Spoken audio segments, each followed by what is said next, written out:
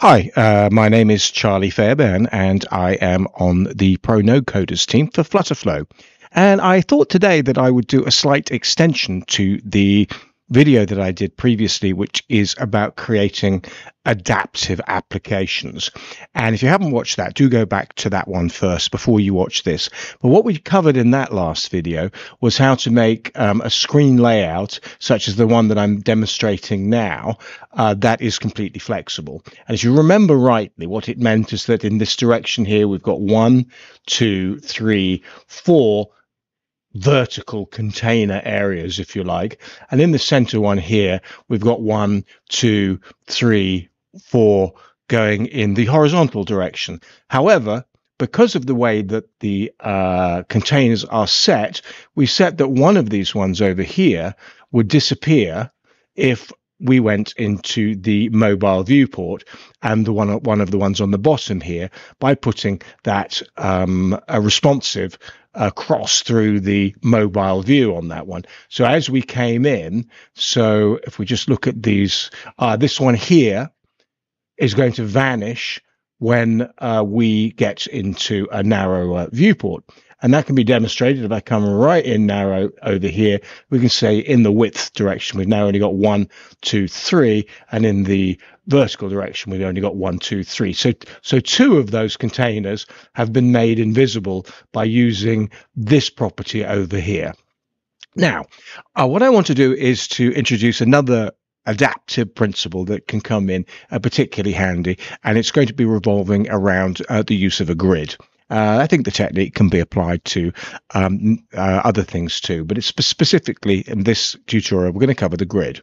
Now, uh, to demonstrate this better, I think I'm probably going to take this first container here, which if you recall was given a flex value of two, and I'm going to uh, reduce that down to one. So we've now got a one, two, one, one. In fact, I'm even going to make this middle container over here have a flex value of three. So that's going to be three times bigger, um, wider than the other three that we've got over here. Now, the reason why I want to do that, of course, if, if you recall, if we come in here, it's always going to say uh, three times bigger until we get into the mobile view where one of them is going to disappear. And you see, uh, it is actually that one. Um, we see we've got a one, one, and a one.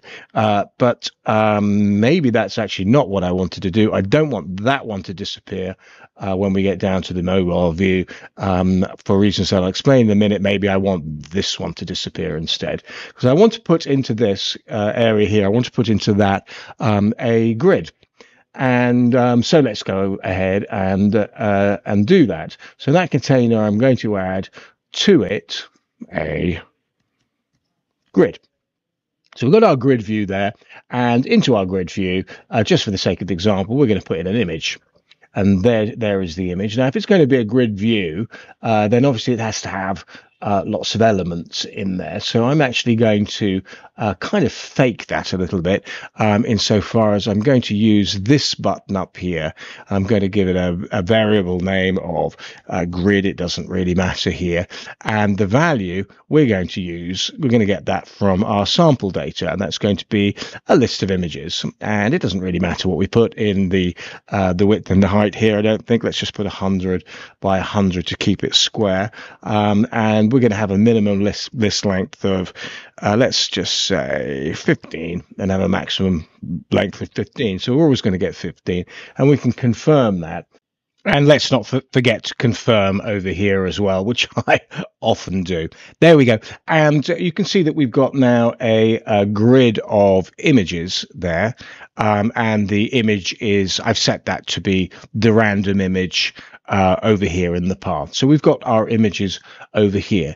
Now, the feature that I want to introduce to you is back in the grid view over here, because it's all very well to say, okay, we're going to have, say, these images that are set to be, let's go down to the grid here, a spacing of three wide. That would look okay probably out here. It's getting a little bit cramped over here, but if we start going into here, we don't really want that to be three wide anymore. It would probably be more appropriate if that became two wide uh, two wide or one wide. And we can do that very, very simply.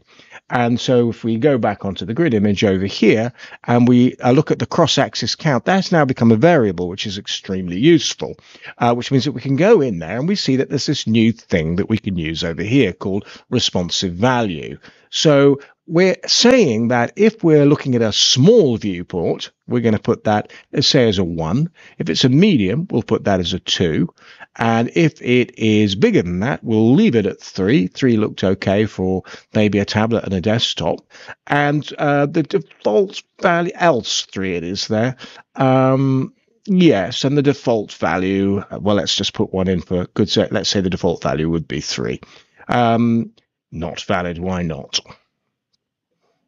Seems I lost my number one up here along the along the way. Let's do that again. Let's do three and let's confirm.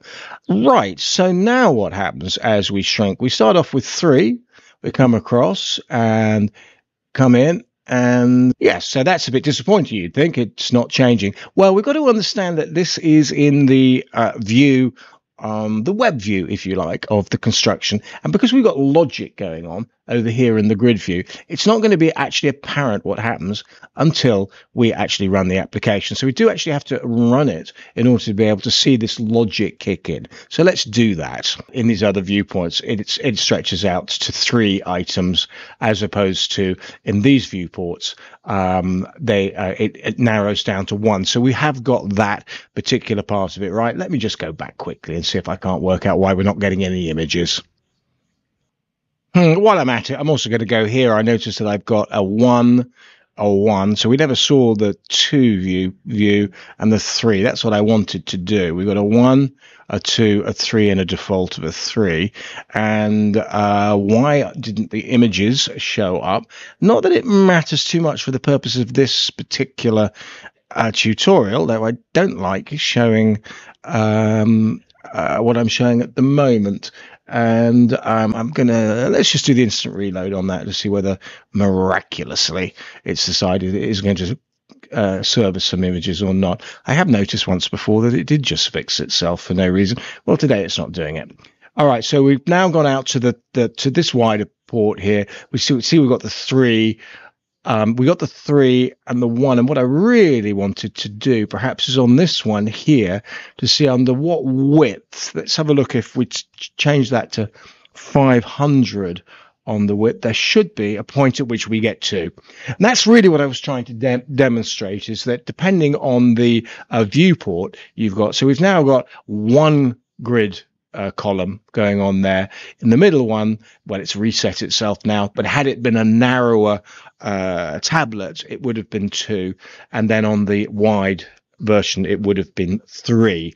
Um, so if we're just going to go back and recap on how we did that, we did that by saying that we can, rather than in the grid view using a fixed width across, we can use this particular feature which is the uh, conditional breakpoint of when that becomes one, two, and three. And it's another very, very useful feature, uh, which will keep your um, application completely uh, adaptive. Now, do remember that you're not going to see that kick in in this viewport because it requires logic and logic is only ever executed like actions and other things in the Flutterflow application when we run them and actually compile them. Now I am just going to go and prove to myself that I can fix the image problem before this video is over.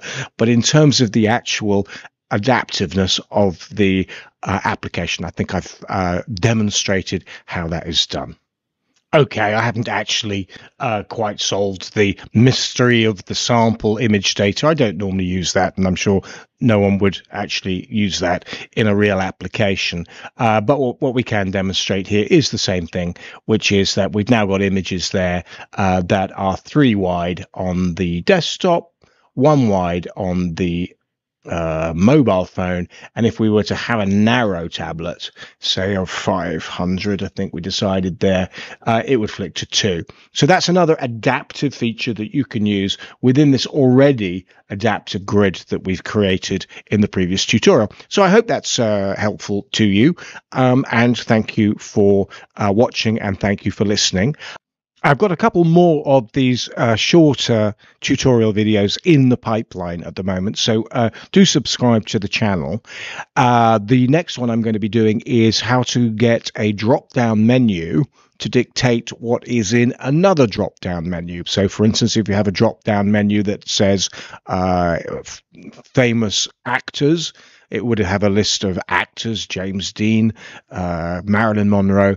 And if you changed that to a list of uh, sports stars, then the second drop down menu would show a list of sports stars in there. So, how one menu dictates uh, how the other one uh, is displayed. That's going to be in the next one. And then I'm doing an advanced tutorial on how to bring in AI generated images into your Flutterflow project and into Firebase in particular. This is an advanced project, but um, uh, these are the two tutorials that I will be publishing very shortly. So do stay tuned. Thank you very much indeed for watching and listening to the video, and I hope to see you next time. Thank you.